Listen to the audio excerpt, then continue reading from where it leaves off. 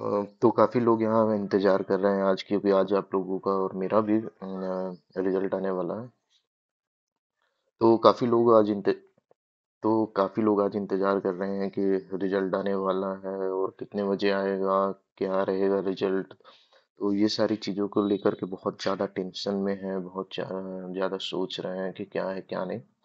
तो ज़्यादा सोचने की ज़रूरत नहीं है और रही बात रिज़ल्ट की तो मैं आप लोगों को दो साल का बताता हूँ तो कभी भी जिस दिन भी रिज़ल्ट आने वाला रहता है तो उस दिन कभी भी मॉर्निंग में कभी भी रिज़ल्ट नहीं आया।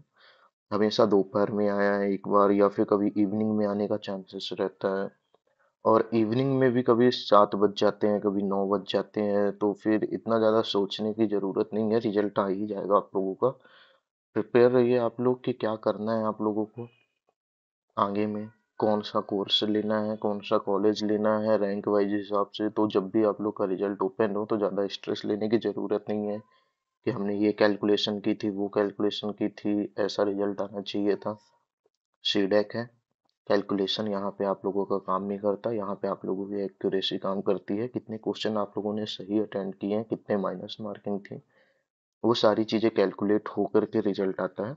इसलिए ज़्यादा आप लोग को सोचना नहीं है, जो भी रैंक आए अच्छा है बुरा है जैसा भी आए, आप लोग थोड़ा सा उस चीज़ों को सोचिएगा कि क्या करना है, हमको कौन सा कॉलेज में जाना है। और रिज़ल्ट में भी आज शाम को सात बजे या फिर नौ बजे तक भी आ सकता है, या फिर चार पाँच बजे के बाद ही आएगा, जो भी है। या फिर अगर सर्वर फेल नहीं होता तो मैं एक केस बताता हूँ दो बैच पहले का कि रिज़ल्ट अनाउंस होना था, उस दिन अनाउंस ही नहीं हो पाया था सर्वर फेल की वजह से, इसलिए अगले दिन मॉर्निंग में दस बजे रिज़ल्ट आया था। तो देखिए, हो सकता है अगर सब कुछ ठीक रहे तो आज ही रिज़ल्ट भी आएगा, सब कुछ आएगा। मे बी ऐसा तो बहुत रेयरली होता है कि अगले दिन रिज़ल्ट आए। बट प्रिपेयर रहिएगा, अगर नहीं भी आया तो ज़्यादा आप लोग को लोड लेने की ज़रूरत नहीं है। रिज़ल्ट है, आ ही जाएगा, आज नहीं तो कल आ जाएगा। बट हाँ आप लोग स्ट्रेस मत लीजिए, कुछ भी होने वाला नहीं है स्ट्रेस से।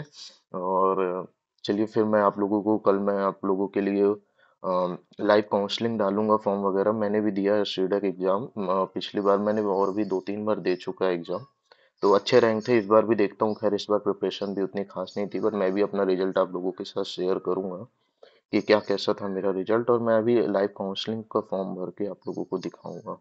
कि क्या क्या कैसे कैसे आप लोगों को फॉर्म में कॉलेज वगैरह जो भी है, जो काउंसलिंग के टाइम पे तो कॉलेज वगैरह आप लोगों को क्या कैसा डालना है, क्या कैसा सब कुछ ट्रिक्स भी मैं आप लोगों को दूँगा। तो कल मैं वीडियो अपलोड करूँगा शाम तक में तो रिज़ल्ट आने के बाद थोड़ा पेशेंस रखिएगा।